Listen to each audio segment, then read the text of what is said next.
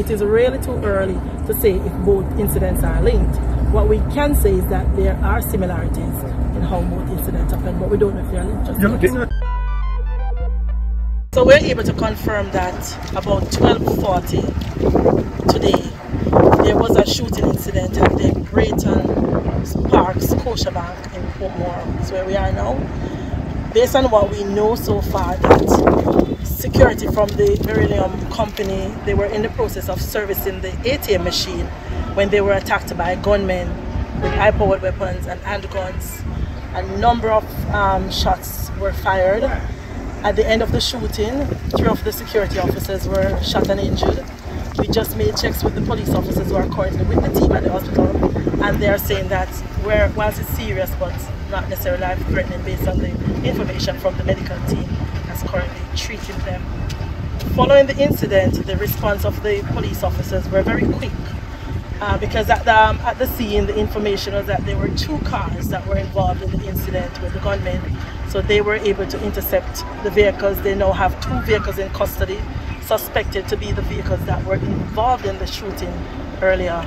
And they are carrying on that investigation. They were um, found somewhere in the Lakes Pen area. And there are also some support along with the police and the military in that area carrying out some underground operations as we speak.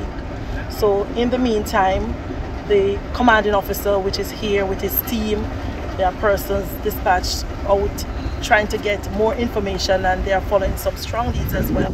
So as the information, as the investigation progresses, then we should be able to provide more information. Are you in a position to tell us how many gunmen were involved?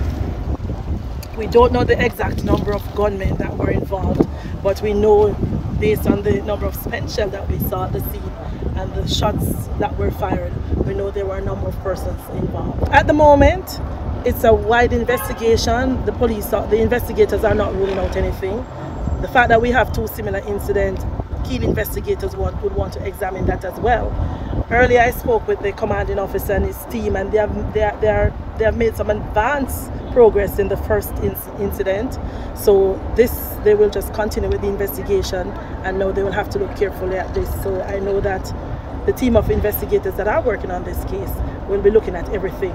This incident happened on a Sunday evening, um, you know, Sunday afternoon. The, the, previous one happened on a Monday morning early. Those seem to be time when not necessarily heavy police presence. Are the criminals outsmarting even the police in terms of how they're going about this?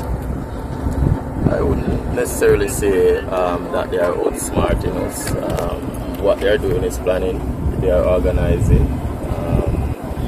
and choosing. I mean, we have seen where some of the criminals in Portmore are just free, um, freestyling, so um, lurking around just for an opportunity, looking for vulnerable um, persons to attack. So some of that do happen, and in some of those cases, you not necessarily will have the police there and location to respond.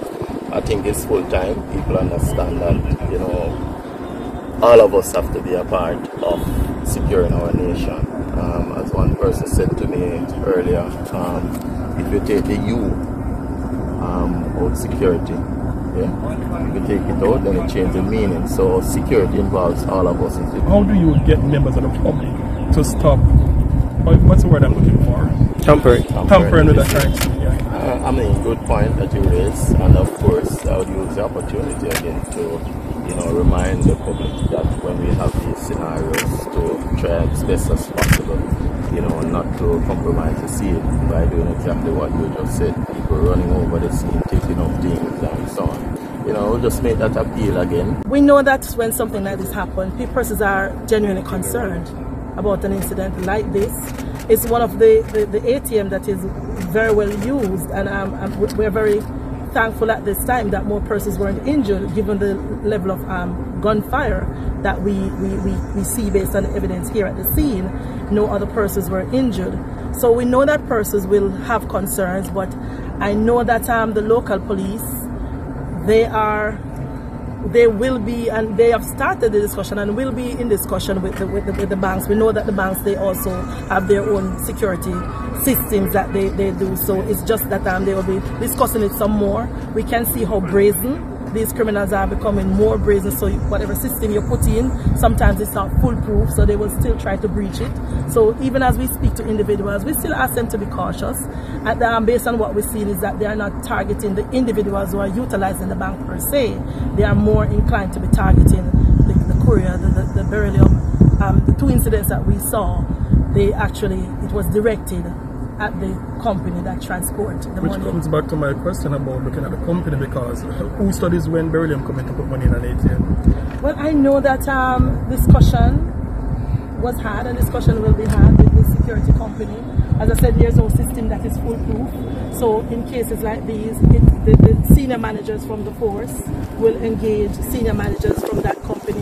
The local um, officer on the scene will, based on their local knowledge and based on the information that they have, they will also provide briefs. So it's about they'll have to go to the table and have some discussion um, to see what happened, do some post-mortem, look at the systems that are in place because no systems are foolproof and to see if we can make recommendations from our side about security measures that can be implemented.